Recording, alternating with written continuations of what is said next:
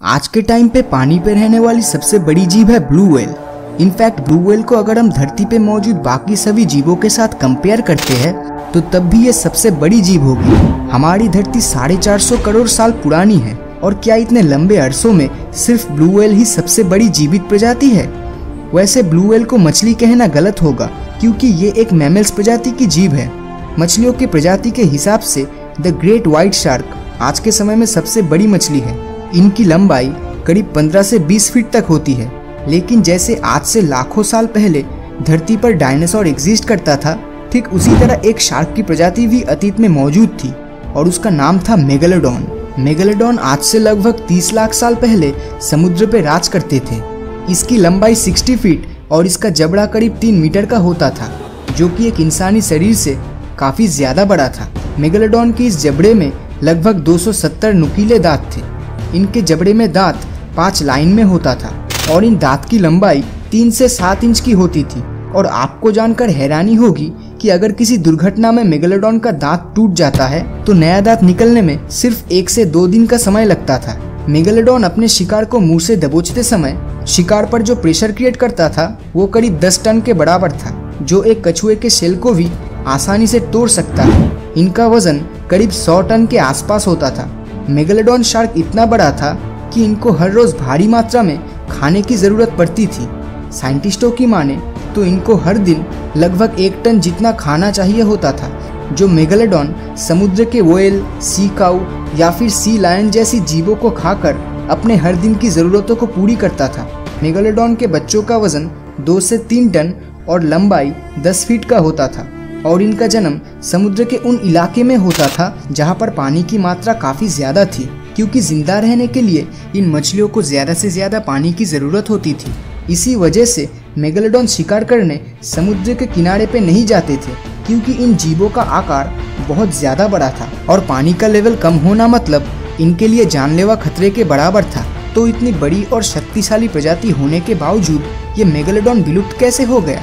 क्योंकि डायनासोर्स जैसे जीवों के खत्म होने के पीछे भी एक बहुत बड़े एस्ट्रॉयड का हाथ था। लेकिन मेगलोडॉन के साथ आखिर ऐसा क्या हुआ था?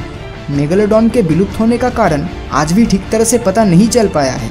इनके विलुप्त होने को लेकर बहुत सी थ्योरीज निकली है। लेकिन एक थ्योरी जिसको सबसे ज़्यादा आइडियल माना जाता है, वो मैं आपको बताने जा रहा हूँ। उस थ्योरी के मुताबिक समय के साथ साथ नए प्रजाति के समुद्री जीव एवोल्यूशन के चलते उत्पन्न होने लगे और समुद्र पर मछलियों की संख्या बहुत ही तेज़ी से बढ़ने लगी और इन छोटी मछलियों को बड़े शार्क्स खा रहे थे। मेगलोडॉन भले ही आकार में बहुत बड़ा था, लेकिन इनकी आबादी उन व्हाइट शार्क से काफ़ी कम थी और ये वही समय था जब व्हाइट शार्क की आबादी बहुत ही तेज़ी से बढ़ रही थी। आज से 30 लाख साल पहले समुद्र के ज़्यादातर हिस्से का टेम्परेचर काफ़ी ठंडा था और इन मेगालोडॉन के ज़िंदा रहने के लिए वार्म वेदर कंडीशन ही आइडियल था। क्योंकि मेगालोडॉन के लिए ठंडे इलाके में ज़िंदा रहना काफ़ी ज़्यादा मुश्किल था। इसलिए जैसे जैसे ठंडी बढ़ती गई, ये मेगालोडॉन समुद्र के गर्म इलाके में चली गई। लेकिन वो मछलियाँ तो उस ठंडे इलाके में ही रह गई और उस समय गर्म इलाके में बहुत ही कम छोटी मछलियाँ हुआ करती थी। मतलब मेगालोडॉन प्रजाति के लिए खाना कम पड़ रहा था और मेगालोडॉन को भूख लगने पर ये अपने ही प्रजाति के छोटे बच्चों को भी खा लेती थी। तो इसी तरह से मेगालोडॉन की प्रजाति पूरी तरह से खत्म हो गई। लेकिन सबसे बड़ा सवाल यहाँ पर यह आता है कि क्या मेगालोडॉन आज भी इस धरती पर एग्जिस्ट करता है? क्योंकि पिछले कुछ साल में ऐसी घटनाएँ घट चुकी है कि मेगालोडॉन के विलुप्त होने के बाद पर भी एक बहुत बड़ा सवाल खड़ा करता है। 1875 में हुए एक समुद्री यात्रा में मेगालोडॉन के दो दांत पाए गए थे जिनकी कार्बन डेटिंग से ये पता चला कि ये दांत शायद 10,000 साल पुराना हो सकता है। लेकिन मेगालोडॉन तो लाखों साल पहले ही विलुप्त हो चुका है। फिर ये दांत कैसे सिर्फ़ 10,000 साल पुराना हो सकता है?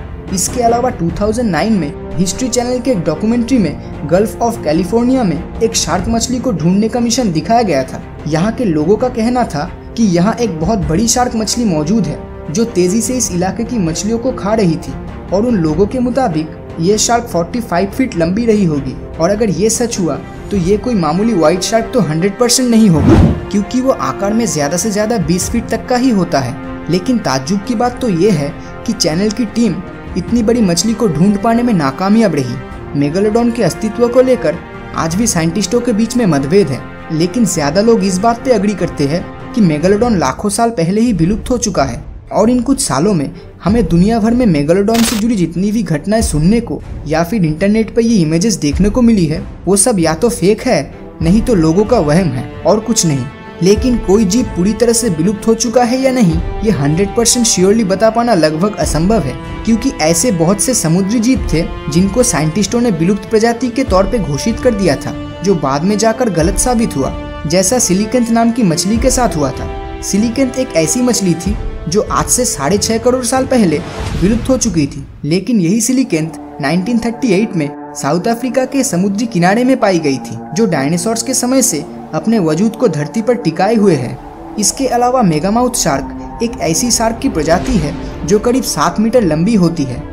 लेकिन ताज्जुब की बात तो ये है कि 1976 से पहले शार्क की इस प्रजाति के बारे में साइंटिस्टों को पता ही नहीं था कि इस तरह की कोई शार्क भी धरती पर एग्जिस्ट करता है। आप में से कईयों ने मरियाना ट्रेंच के बारे में तो सुना ही होगा, जो दुनिया की सबसे गहरी जगह है। वैज्ञानिकों की माने तो वहाँ पर ऐसे विचित्र प्रजाति के जीव हो सकते हैं कि उसका अंदाज़ा भी शायद हम नहीं कर पाएँगे। ट्वेंटी फ़र्स्ट सेंचुरी के इस मॉडर्न टाइम पीरियड में भी हम आज तक समुद्र के सिर्फ़ पाँच परसेंट एरिया के बारे में ही ठीक से जान पाए हैं और बाकी के 95 परसेंट के बारे में हमें कोई भी आइडिया नहीं है कि वहाँ पर क्या हो सकता है।